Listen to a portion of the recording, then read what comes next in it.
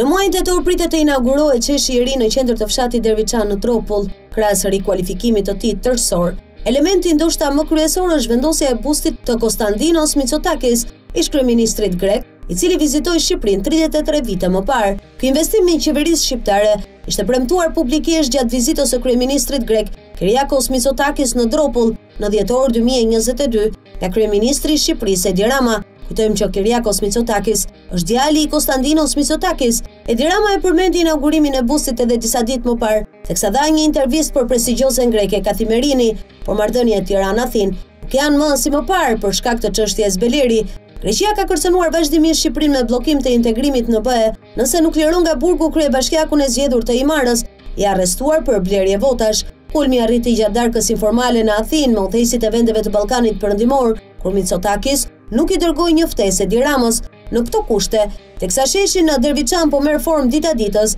mbetet me pikëpyetje nëse Kyriakos Mitsotakis Do të vijë sërish në Shqipëri apo jo, për të marrë pjesë në inaugurimin e bustit të babait të tij. Ky investim që më shumë ka vlerë simbolike në minoritet, duket se i ka ardhur në shteg Edi Ramës dhe ngjan më shumë, le të themi, si një kurth politik ndaj kreut të qeverisë në Athinë. Më interesuar në këtë rast që sheshi të inaugurohet, që busti të vendoset dhe që kryeministri i Greqisë të marrë pjesë në ceremoni, është Edi Rama, jo Kyriakos Mitsotakis, të cilit po i nderohet në Dropull babai i tij. Rama kërkon të shpërfaqet përmes kësaj ngjarjeje si një lider europian i shpenguar plotësisht nga komplekset nacionaliste apo paragjykimet dhe t'i tregojë opinionit publik grek që ai është kaq shumë mendjehapur, prandaj i ngre bust babait të kryeministrit të Greqisë. Natyrisht që Rama nuk e kishte paramenduar se gjërat do të vinin kështu me Fredi Belerin e do të kishte një krisje me Athinën zyrtare, por ai synon ta përdorë sheshin me bustin e Kostandinos Mitsotakis, si një akt për të kompleksuar kryeministrin aktual të Greqisë. Nëse Kyriakos Mitsotakis do të mbërrinte në Dropull në tetor